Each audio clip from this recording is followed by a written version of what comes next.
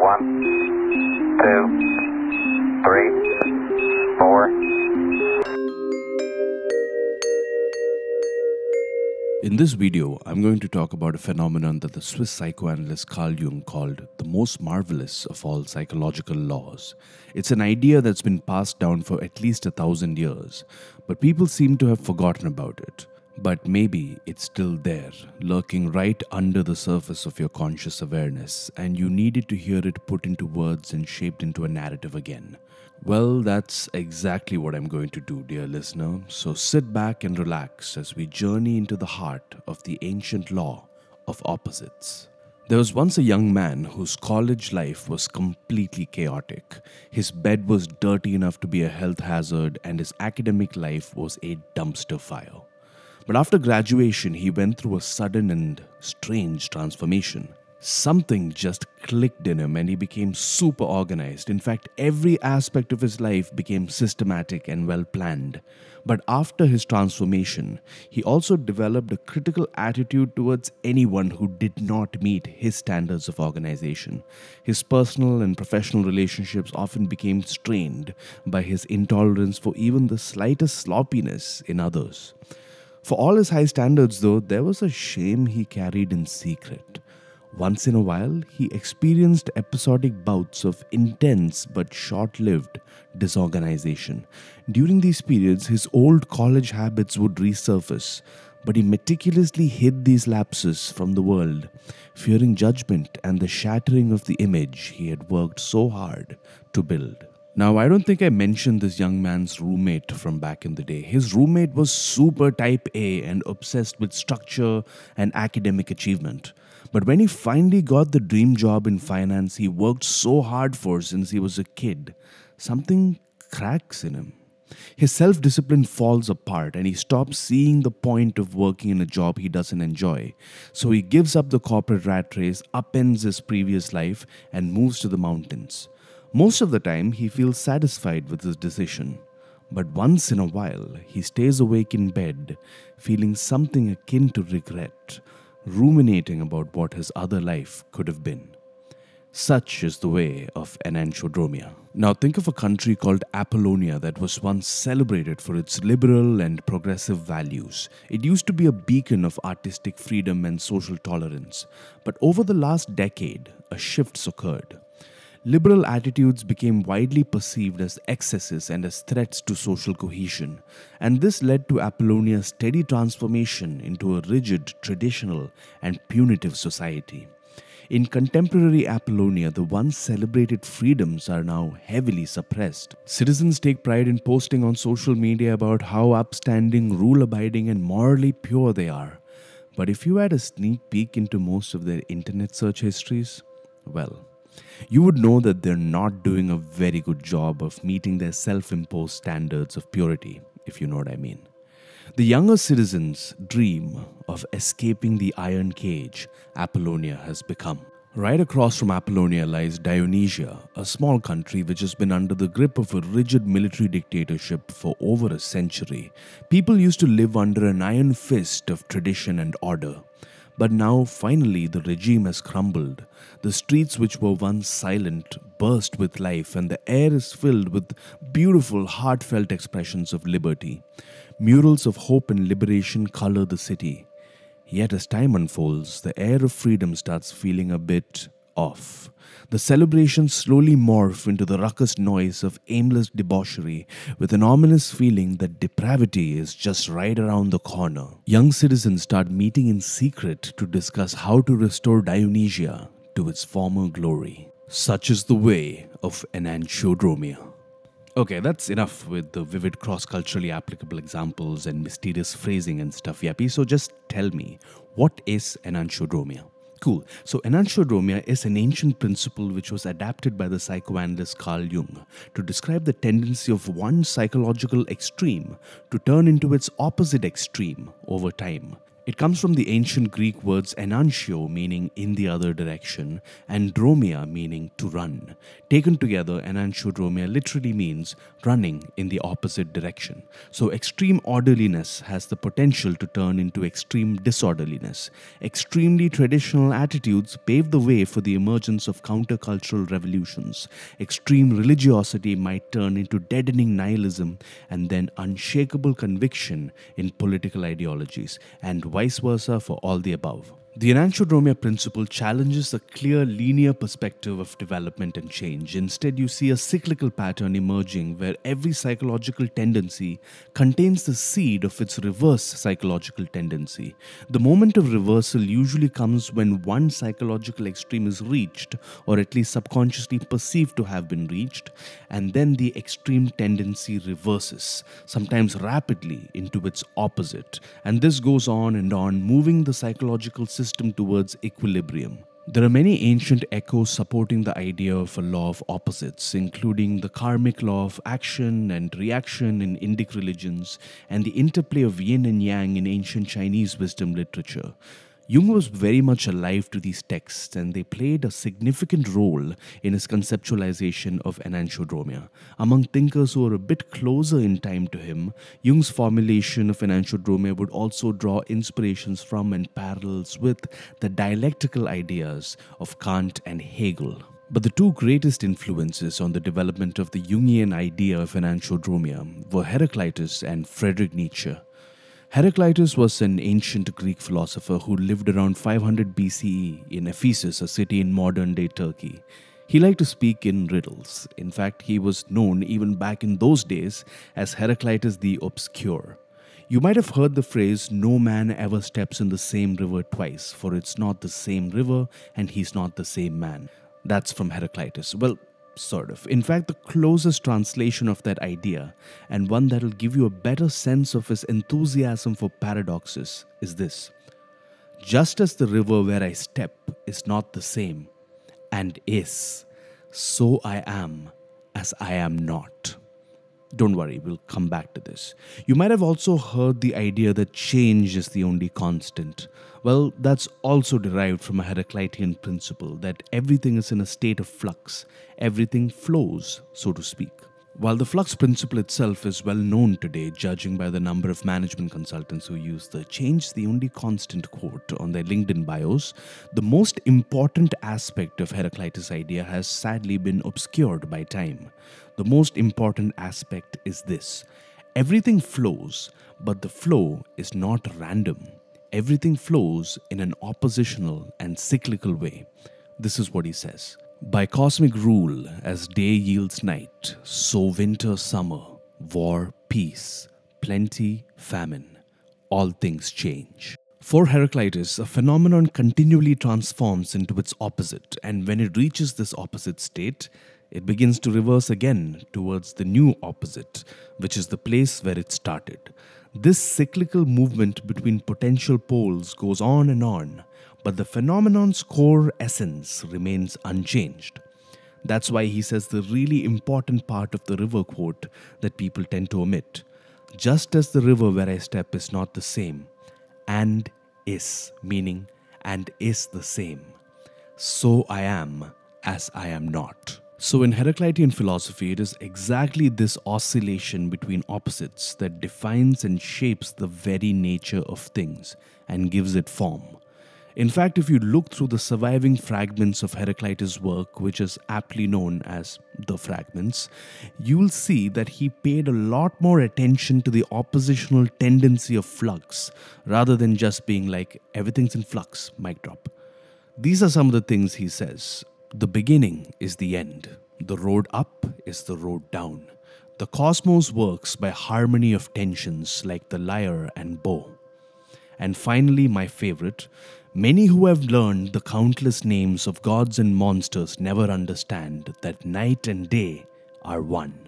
There's no better idea than this to bring in the metaphorical monster fighting, death of God proclaiming, abyss gazing, morality questioning, horse hugging, ice loving philosophical freak of nature whose work has been misunderstood and misused by everyone across the intellectual and political spectrum, from mad tyrants to angsty schoolboys to existential therapists. I am, of course, talking about Friedrich Nietzsche. Now, as tempting as it is to dedicate the rest of this video to discussing Nietzsche, I'll save that for another time. For now, I'll just talk about Nietzsche's contribution to Jung's conception of enantiodromia. In the opening paragraphs of his book, Human All Too Human, Nietzsche says, Almost all the problems of philosophy once again pose the same form of question as they did 2000 years ago. How can something originate in its opposite? For example, rationality in irrationality, the sentient in the dead, disinterested contemplation in covetous desire, living for others in egoism. What we require is a chemistry of the moral, religious, and aesthetic conceptions and sensations, likewise of all the agitations we experience within ourselves in cultural and social intercourse, and indeed, even when we're alone. What if this chemistry would reveal that in this domain too, the most glorious colors are derived from base, indeed from despised materials? Will there be many who desire to pursue such researches?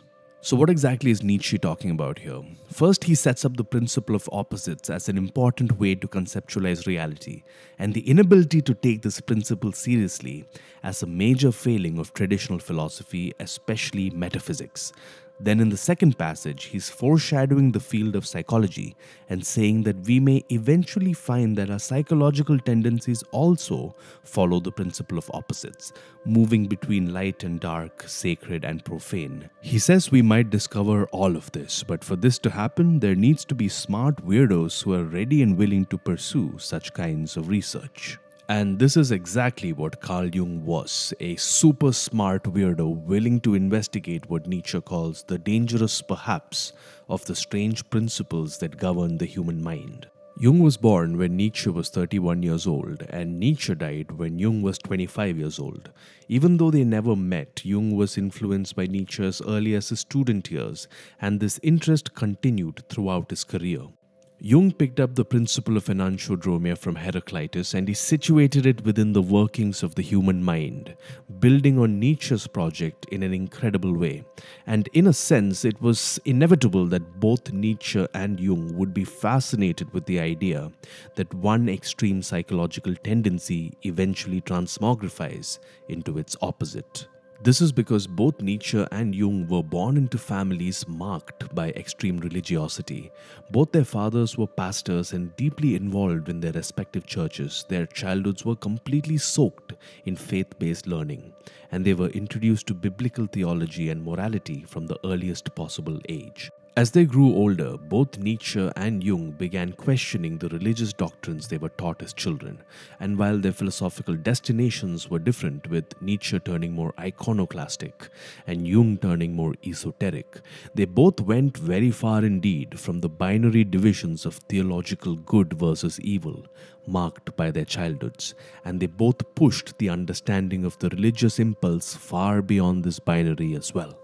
Jung first discusses enantiodromia in his 1921 work Psychological Types. To really understand this idea, we have to begin with the basic premise that the human psyche is not composed of only conscious thoughts and intentions. It's a complex, multi level, but ultimately unified system. The consciously expressed part of your personality coexists with repressed desires, unexpressed emotions, unacknowledged weaknesses, and hidden fears.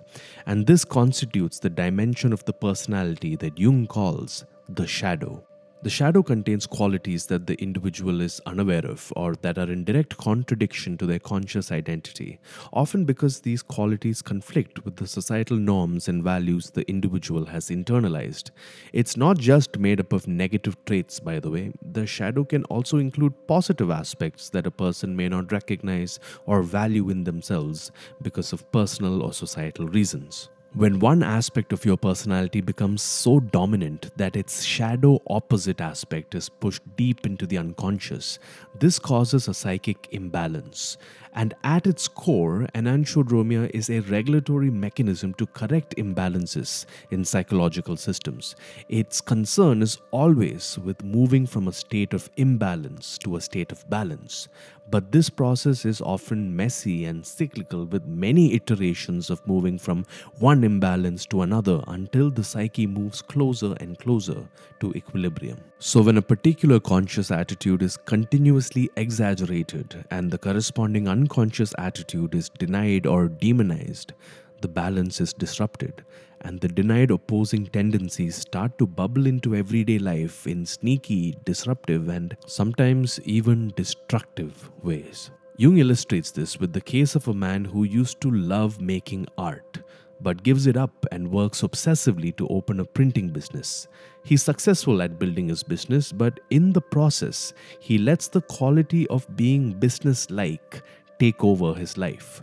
He stops caring about anything that doesn't fit into his cutthroat, profit oriented framework, and things like intuition and imagination just sound like airy fairy nonsense to him. This goes on for a long time, but one day the shadow self he's been unconsciously nurturing comes knocking. He feels a strong, sudden urge to reconnect with his youthful passion for art, but instead of making space for these feelings and making time to pursue them at least as a hobby, he impulsively starts giving strange artistic twists to his established products. They come across as half baked, hurried, and awkward. His executive decision making starts breaking down, driven by the sudden uprush of the childlike spontaneity that's been suppressed in him, compensating for the brutal matter of factness with which he banished that side of his nature to the shadows. And the result of all this, the business slowly starts falling apart. His road up becomes his road down, as old Heraclitus would say. Just as an individual life can get caught up in the back and forth of psychological forces beyond its control, so can a group, so can a family, so can a generation, so can a culture, so can an entire history. Throughout his life, Jung became increasingly concerned about the mass effects of enantiodromia and its profound collective consequences. Remember how we talked about how your psyche is a self contained holistic system with a conscious and unconscious side? Well, what if that rabbit hole goes deeper and the unconscious part of your psyche is way bigger than the conscious part? We're still swimming in Freud's waters when we talk about the unconscious in this way, but now imagine all our individual conscious minds as just the tiniest tips of a massive single psychological iceberg called the collective unconscious. Just like your individual psyche, most of this huge interconnected system is unconscious. You are, in a sense, the conscious nodes of the system. The collective unconscious also has repressed shadow tendencies, and you guessed it, it also follows the principle of enantiodromia. The unsettling implication of this idea is that we might be living out intergenerational enantiodromia cycles that were kicked off decades before we were born. And we might even be caught in historical enantiodromia cycles that were initiated thousands and thousands of years ago.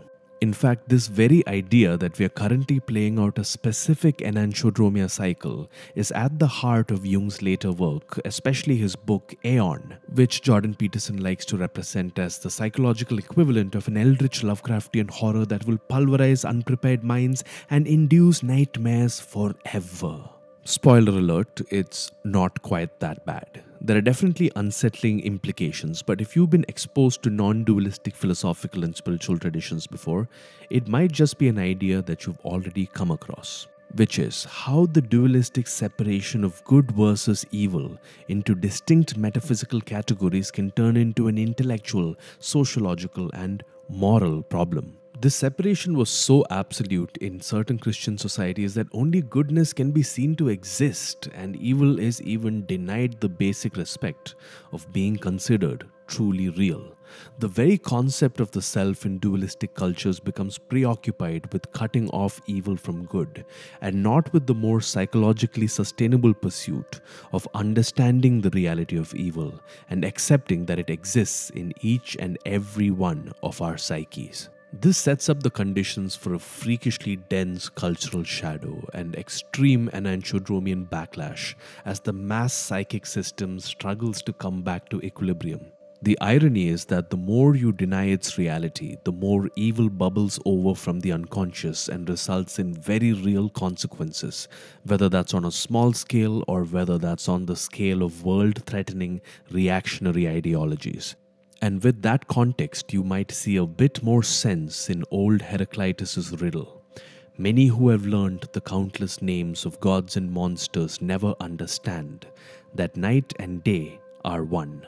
Once you begin noticing enantiodromia, you start seeing it everywhere. You see it in history, for example, the secular socialist activist Annie Besant gave up her political views seemingly overnight and became a champion of the occult organization called the Theosophical Society and propped up her young protege Jiddu Krishnamurti as a spiritual messiah. At the time he was supposed to come out to the world as a messiah, Krishnamurti renounced all messiahs and adopted a secular approach to self awareness and spirituality. Germany was considered to be the apex of civilization in terms of its artistic and philosophical contributions, but it descended into the depths of barbarism with the help of a failed artist named Adolf Hitler, their enantiodromian overcompensations reinforcing each other. You see it everywhere in pop culture. In the movie Joker, Arthur Fleck starts out as an overly agreeable, sensitive, and self conscious comedian who was psychologically turned inside out by trauma into the crown prince of chaos, the Joker, emerging as both a symptom and a cause of Gotham City's turn to violence and rioting. A rioter kills a scared young Bruce Wayne's parents and unwittingly sets in motion the force known as Batman that will bring order to the chaos. In the Dune series, Leto II prevents humanity's extinction by becoming a tyrannical, near immortal ruler, a god king. He devises a so called golden path, which is a vision to ensure humanity's survival, but it requires millennia of oppression and stagnation. Leto leverages the law of enantiodromia to compress humanity in such an extreme way that when they are finally free, they will scatter across the universe and never again be vulnerable to extinction. You may even see enantiodromia playing out in your own life. Maybe you're in the middle of a specific enantiodromia cycle which you're slowly becoming conscious of. Maybe you can see reactions to your parents' personalities that are being played out in your personality. To take a classic example, people pleasing children tend to have tyrannical fathers. Now, if you've seen my videos before, you'd know that I'm not interested in painting psychological tendencies as universal constants. This is pretty much impossible empirically speaking, and many of Jung's ideas cannot be empirically proven. So, if you're not inclined to see enantiodromia as a fundamental law or a principle, that's totally fine. You can just think of it, if you wish, as a motif in the narrative of life that helps us make sense of the strange ways in which we act and react. That said, I think people are collectively becoming more aware of this enantiodromia motif. A trend that's become quite popular on social media, especially amongst Gen Z, is entering your villain era. When you inspect this trend closely, it's actually rooted in the sense that overly agreeable and people pleasing tendencies result in an accumulation of the desire for disagreeableness and boundaries. And entering your villain era is just an acceptance of enantiodromia and allowing this tendency to flow instead of repressing it. The trend also seems to be quite aware of the temporal nature of the shift since it's about willingly entering a phase and not labeling yourself permanently as a villain. Becoming aware of an enantiodromia is a really good idea. In fact, according to Jung, it is the only way you stand a chance at getting away from a lifetime of being tossed back and forth between extreme psychological tendencies. Jung says, only he escapes from the cruel law of enantiodromia who knows how to separate himself from the unconscious, not by repressing it, for then it seizes him from behind, but by presenting it visibly to himself as something differentiated from him. What Jung means by this is that you need to develop a firm sense of who you are, not by cutting yourself off from your unconscious because that worsens the problem.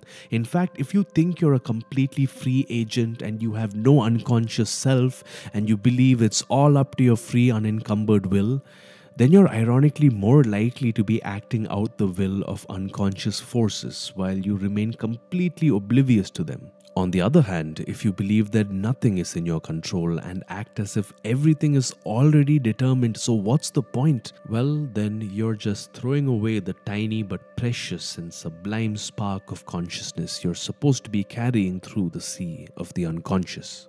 In order to not be torn apart by the law of opposites, what you have to do is devote time and effort towards understanding what exactly these massive unconscious forces are acting on.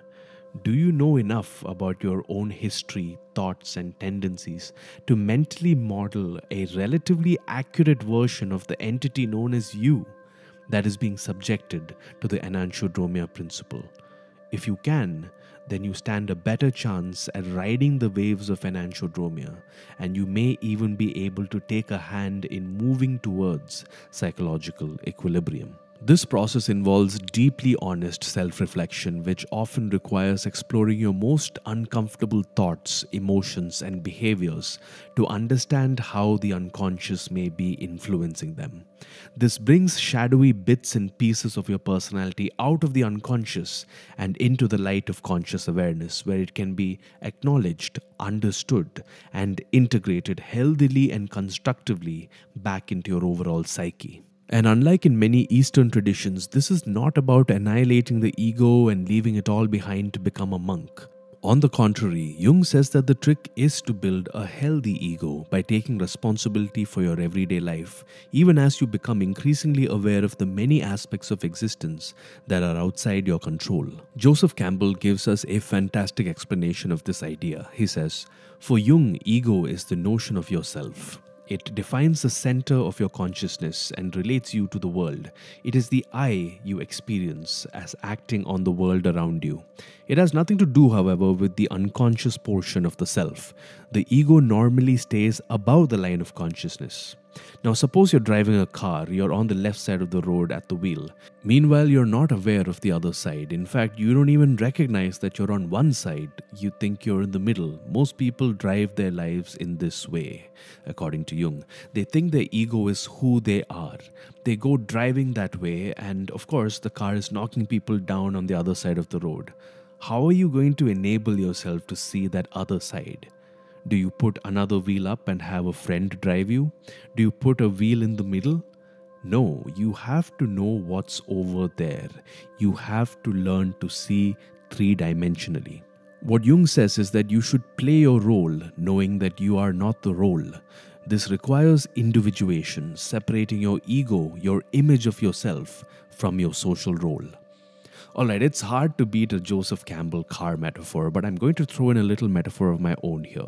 You might be a barnacle on top of a ginormous whale that is the collective unconscious, but that shouldn't stop you from becoming a vital, living, and conscious barnacle. Mindfulness, journaling, and therapy can all be incredibly useful tools for self reflection and healing but this must be accompanied by the conscious decision to take responsibility for your life. Action not only makes you grow, it also deepens your understanding of how you are growing. By choosing to engage with life in all its sorrows and all its joys and combining this with a dedicated process of self reflection, you differentiate yourself from the amorphous mass of individual and collective desires, feelings, and moods that wash over you on a daily basis. You live in the deep knowledge that you're part of an integral whole and you become more and more aware of the system's rhythms. You slowly start becoming a living embodiment of the union of opposites, being spacious enough to hold the contradictions of being composed of both light and dark, conscious and unconscious, everyday and timeless.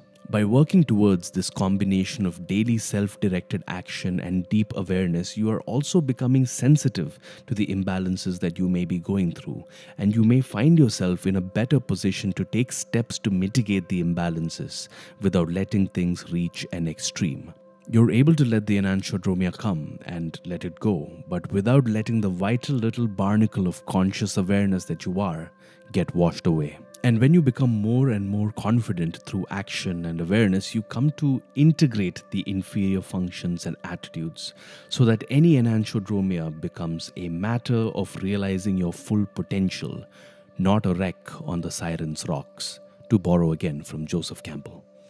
For example, if you feel like you've become too businesslike recently with no patience for the more abstract and subtle aspects of life, then you might want to take some time out every day working on making art with no purpose apart from just expressing your creativity, even if you think it's childish.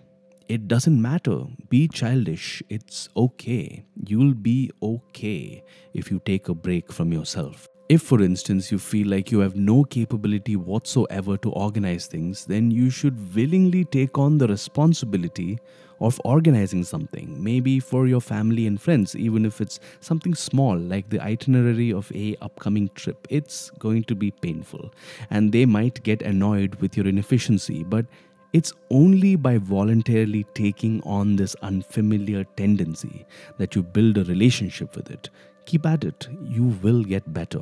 And if you feel like being absorbed into an extreme political or religious ideology, I beg you to try to identify the parts of yourself that are crying out for expression and are seeking escape from large scale mainstream groupthink by running towards validation from small scale alternative groupthink. You cannot begin the process of coming into awareness when you're too scared to disappoint the undifferentiated mass of opinions that you've idealized as the ultimate good. So here we are, near the end. About time, right?